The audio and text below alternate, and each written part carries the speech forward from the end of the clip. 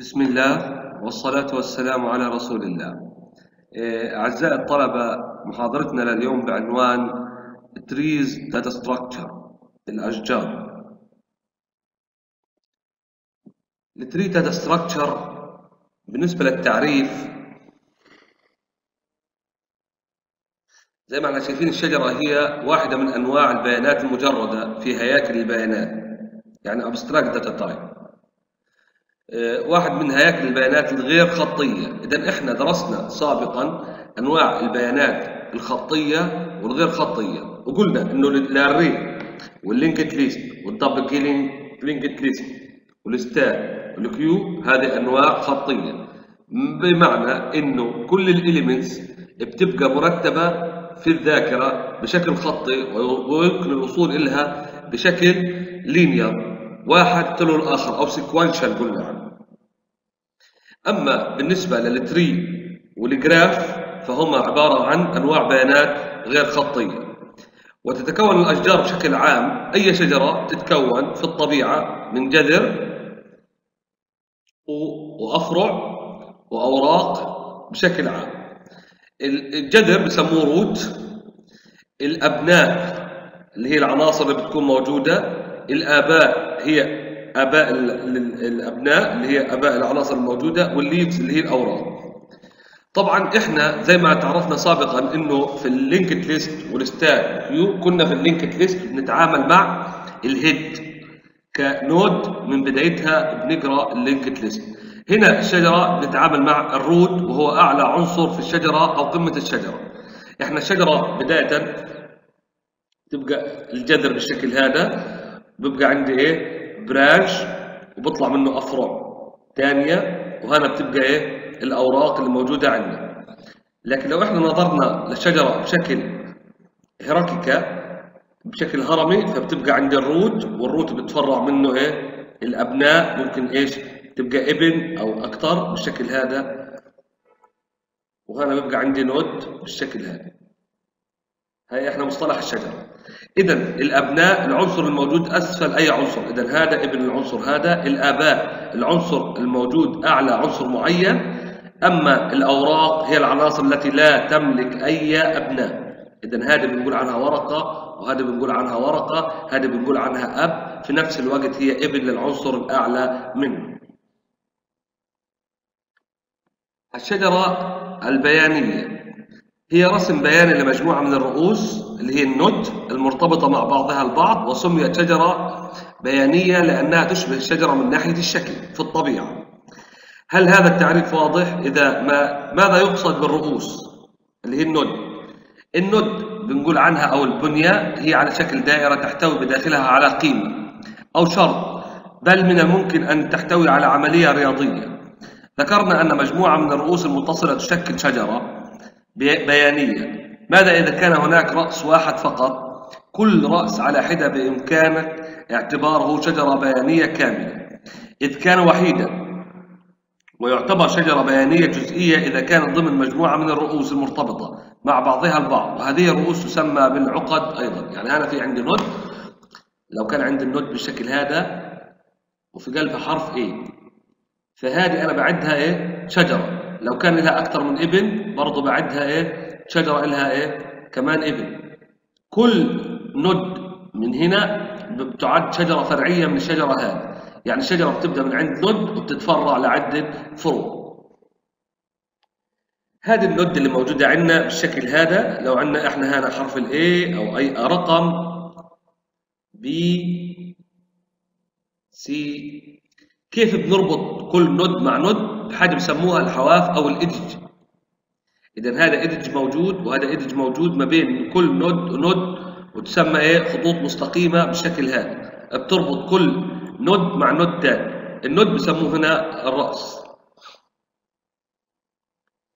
شكل توضيحي. هاي شجرة كاملة بهيكل معين هيكل هرمي. عندنا ال root هيو عندنا الآباء هيهم. وهذا برضه أب لهذا عندنا الأبناء بالشكل هذا وعندنا الأوراق بالشكل هذا. الأوراق اللي هي ملهاش أي أبناء. تمام؟ طبعا عندنا اللي هو ال K وال F هم أبناء ال G فإحنا بنقول جي إلها ابنين ال F وال K بالشكل هذا. وعندنا ال F لها ابنين بالشكل هذا. وعندنا ال K لها ابن. أما البي والسي والان والام ما مش أي أبناء. في مصطلح اسمه العمق. إيه، العمق والارتفاع.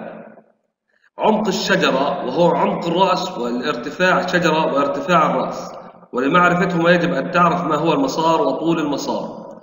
إذا هذا طول المسار من A إلى الرأس D. من A اللي هو هنا. لو كان عندي أنا نود اسمها A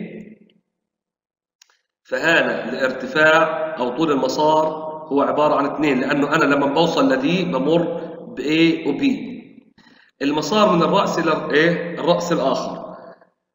فهو مجموعة الحواف التي تأخذك من الرأس إلى الرأس الآخر. يعني أكم نقطة عديت عليها لتوصل لنقطة معينة.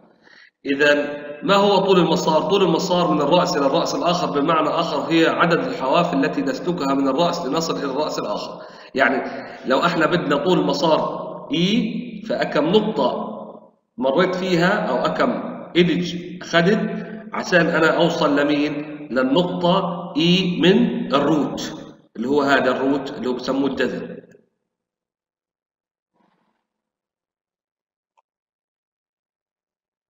العمق ال depth هو عدد الحواف التي تربط الرأس بالجذر ونستنتج أن عمق الجذر عمق الجذر قديش؟ إيه صفر. وأن أكبر عمق هو عمق الورق. يعني لو قلنا قديش ال height تبع الرأس هنا صفر. لأنه هنا بقول لك أكم كم خطوة بدك تخطو عشان توصل للرأس. من الرأس نفسه فصفر لكن لو إحنا بدنا نوصل لآخر ورقة لو أنا عندي A و B و C و D عشان أوصل من A لآخر نقطة عندي في الشجرة بسموه عمق الشجرة تمام؟ هنا عمقها قديش؟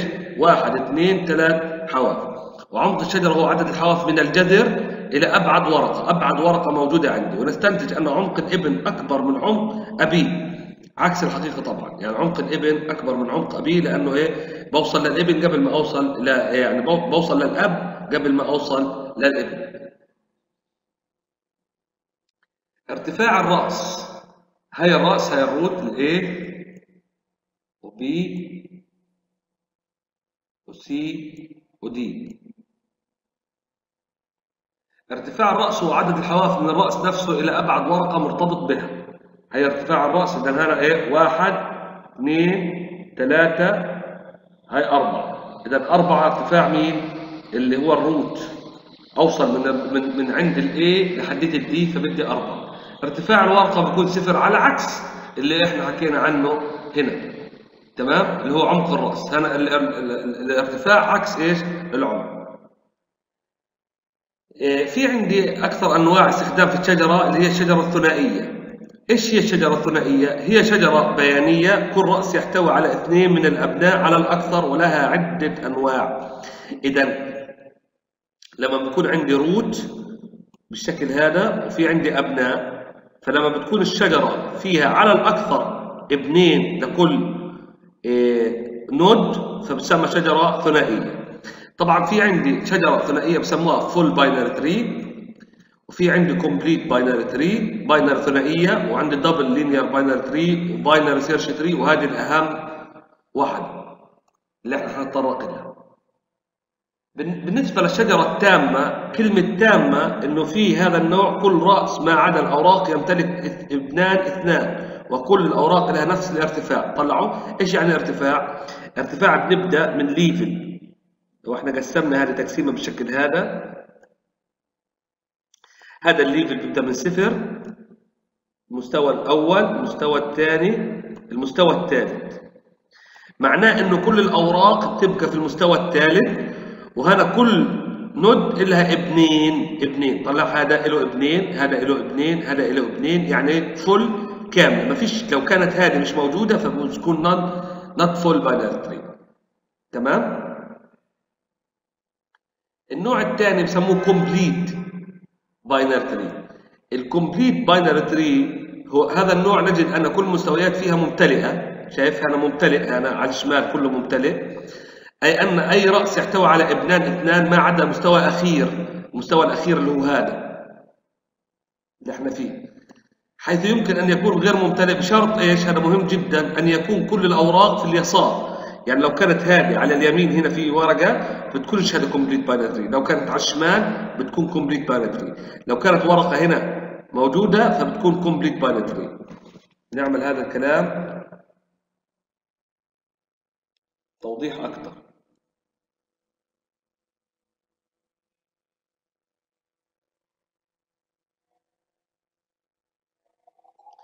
هذه complete binary tree لأنه لو طلعنا هنا كلهم لهم اثنين وهذه مليانة بنيجي للمستوى الأخير. فهذه D لها ابنين ال E لها ابنين ال F لها ابن وعلى إيه؟ اليسار هذا بسموه يسار. لو كان عندي على اليمين هنا مثلا X فهذا بتكون complete binary tree لكن لو كان عندي ال G واحد على اليمين اسمه Y فبتكون not complete binary tree عشان تكون complete binary tree المفروض يكون ال Y على الشمال. لو كان عندي بالشكل هذا لو كان عندي Z هنا فإيش بصير هذه؟ بصير full binary tree اذا أنا بعرف إنه ال full binary tree هي عبارة عن complete binary tree في نفس الوقت. لكن أهم شيء إنك تنظر إنه يكون شرط كل الأوراق في الإيه؟ في اليسار لو كانت غير ممتلئة. ال linear هي عبارة عن عقدة بشكل متتالي حيث لا يمكن الوصول إلى عنصر واحد فيها بشكل مباشر. طلع لو أنا بدي أجي للعنصر هذا فأنا بدي أمر بالعد عشان أوصل للاثنين لازم أمر بالواحد أوصل للثلاثة لازم أمر بالاثنين أوصل للأربعة لازم أمر بالثلاثة وعلى شكل linear زي إيش؟ زي ال linked list. يعني يا إما شمال شمال أو بالشكل هذا.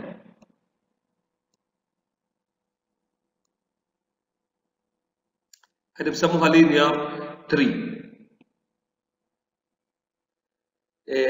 ال binary search tree اللي هي البحث الثنائية binary search tree هذه مهمة جدا بقول لك هي شجرة ثنائية لكل لكن مع ترتيب قيم الرؤوس بطريقة معينة. اذا في طريقة معينة لوضع إيش القيم اللي جواها إن كانت حروف أو إن كانت إيش أرقام. إيش الطريقة هذه؟ بقول لك الطريقة أن أرتب العقد أو الرؤوس بحيث قيمة الرأس تكون أكبر من قيمة الإبن الأيسر.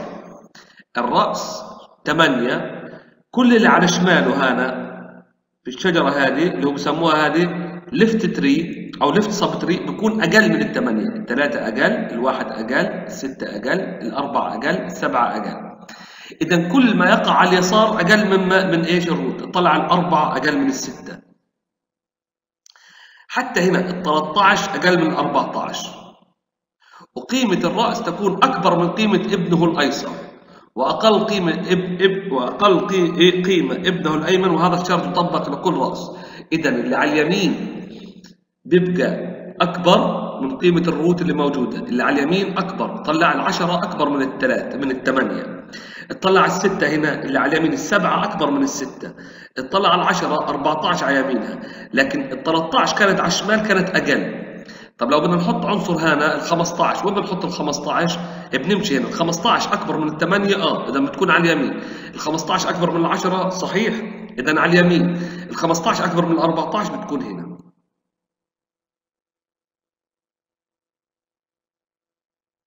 وليش سموها شجرة binary search tree؟ لأنها سميت شجرة بحث لأنها تسهل عملية البحث بصورة أكبر جدا لأنه هنا أنت بتقلل التايم للنص.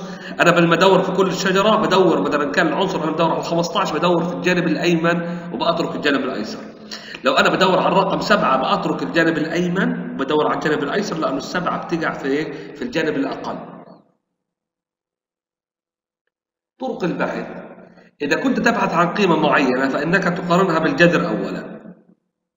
فإذا كانت تساوي الجذر فقد حصلت على مرادك يعني إحنا بنقارن مع القيمة إذا كان بتدور على الثمانية فقارنها بالثمانية إذا كان بدك الثمانية إذا أنت لقيتها بالجذر.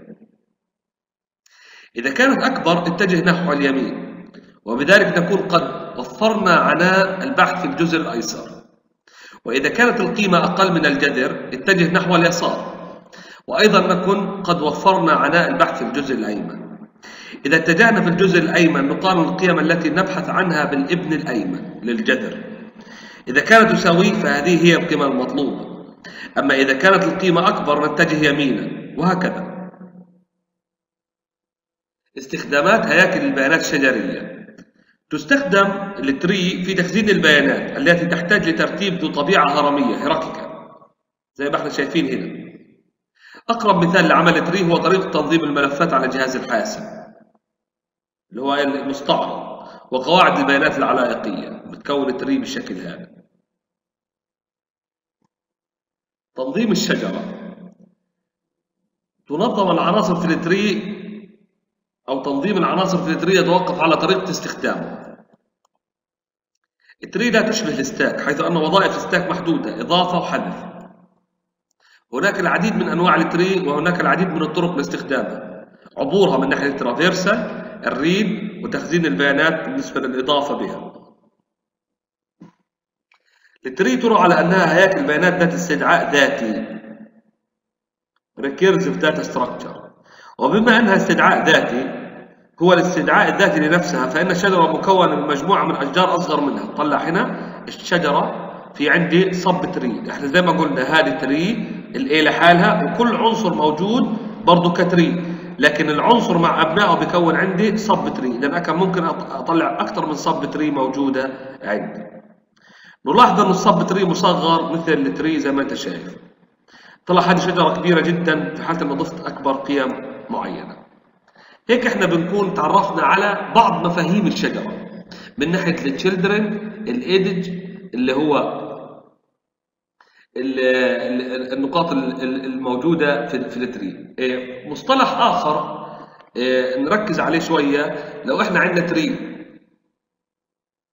أو نرجع لل tree هذا اللي إحنا موجود عندنا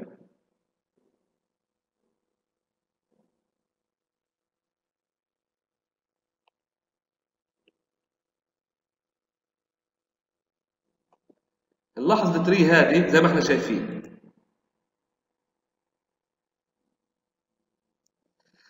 في حاجة بسموه sibling